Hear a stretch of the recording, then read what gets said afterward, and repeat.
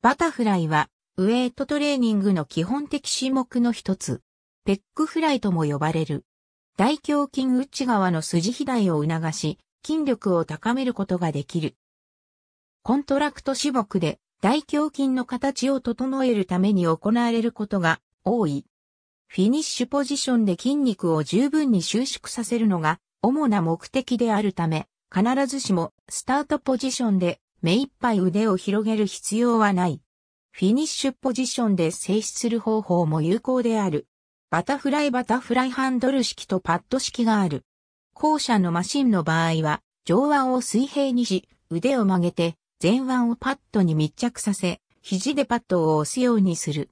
マシンのシートとアームの位置を調節して、シートに座る。ハンドルを持って胸を張る。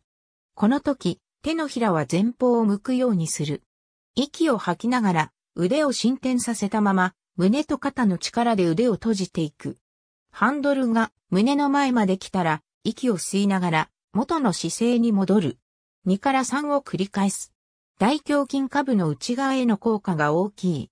ハンドル式のマシンで行うことができる。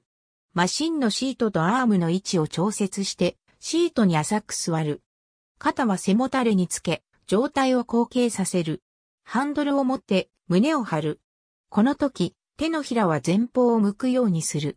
息を吐きながら腕を伸展させたまま、胸と肩の力で腕を閉じていく。この時、手のひらが徐々に上を向くようにしていく。手の小指側でハンドルを押すようにする。ハンドルが胸の前まで来たら、息を吸いながら元の姿勢に戻る。